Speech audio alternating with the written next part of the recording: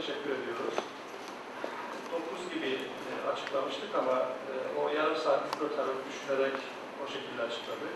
Giderek katılımın artacağını e, düşünüyoruz.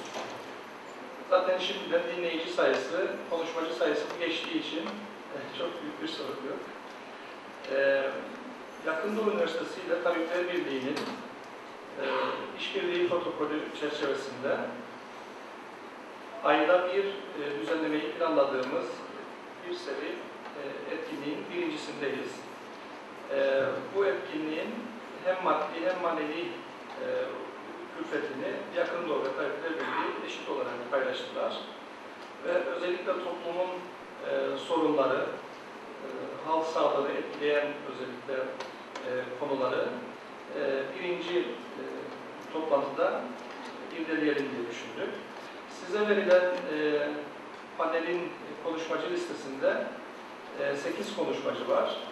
Ancak e, alttan üçüncü konuşmacı Sayın Doçent Doktor Mutlu Hayran, e, epidemiyoloji uzmanıdır, çok değerli bir bilim adamıdır. E, çevre ve kanser ilişkisini irdeleyecek olan e, hocamızdı. E, bir teknik sorundan dolayı katılamadı. Muhtemelen onu gelen ayki toplantıya ilave edeceğiz. O yüzden alttan üçüncü konuşmacımızın olmayacağını söyleyelim. Ee, size verilen yine e, listede konuşma sırası e, gözetilmeden verildi. En alttan e, Kuzey Kıbrıs'ta çevre sorunlarını giderecek olan biyolog Hasan Sarktan arkadaş ilk konuşmacıdır. E, bu şekilde Kuzey Kıbrıs'taki çevre sorunlarına genel bir bakış e, yapılmaya çalışılacak.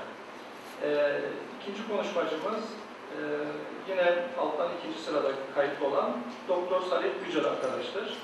O da Kuzey Kıbrıs'ta özellikle hava kirliliğine e, etkileri olan çevre sorunlarını vurgulamaya çalışacak.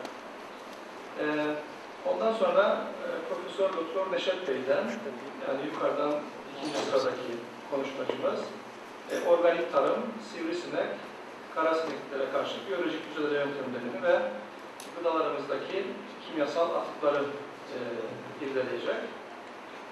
E, Profesör Doktor Münir Öztürk çok değerli bir hocamız Ege Üniversitesi'nden. O da dördüncü konuşmacımız olacak. Ekoloji, gen mühendisliği ve sağlık ilişkisini irdeleyecek hocam. Yine e, Profesör Doktor Derin Orhan, e, hepimizin ismen tanıdığı önemli bir bilim adamı. E, katı atıkların Avrupa Birliği mevzuatını 5. sırada sunacak.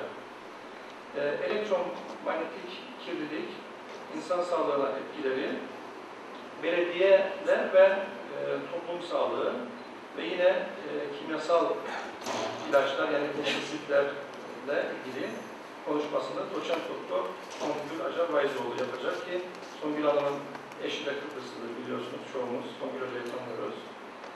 E, son konuşmacımız e, Profesör Doktor Çağatay Güler Hoca olacak.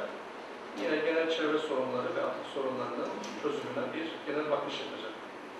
E, ben eş düzenleyici olarak e, Yakın Doğu Üniversitesi'nin e, değerli e, rektör yardımcısı Hüseyin Gökçekmuş Bey'e sözü veriyorum ve ondan sonra panellere geçiyoruz.